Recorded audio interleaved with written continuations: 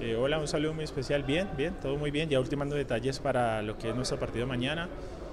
Muy convencidos de que vamos a realizar un gran trabajo, un partido interesante, un partido importante. Son una clase de partidos que, que a nosotros los jugadores nos motiva, nos anima debido pues, a la clase rival que vamos a enfrentar y, y en la gran, en gran, la gran plaza que, que tiene Nacional. Entonces, muy tranquilos, convencidos de que hemos preparado todo muy bien y esperemos mañana poder ejecutar en, día de competencia las cosas que hemos, que hemos planeado.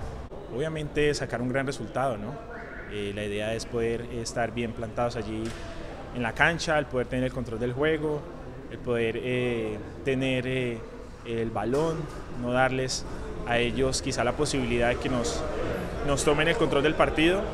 Y bueno, siendo muy sólidos, realizando nuestro trabajo en la parte defensiva, muy bien concentrados y aprovechando las oportunidades que nos podamos, que podamos nosotros generar en la parte ofensiva. Nosotros tenemos muy claro eh, la importancia de este partido, sabemos que Nacional tiene jugadores de muy buen pie, de, muy buena experiencia, pero confiamos también en nuestro equipo, tenemos jugadores de gran capacidad, de gran talento, eh, tenemos, hemos preparado un gran trabajo en lo que ha sido estos días y bueno, vamos con la mentalidad, con la motivación y con el ánimo de que vamos a pasar esta fase, de que vamos a, a dejarlo todo allí en ese primer eh, compromiso y esperando cerrar del local aquí en casa con nuestra hinchada, con nuestra gente, poder eh, brindarles una alegría y poder estar más cerca de las finales eh, en este torneo.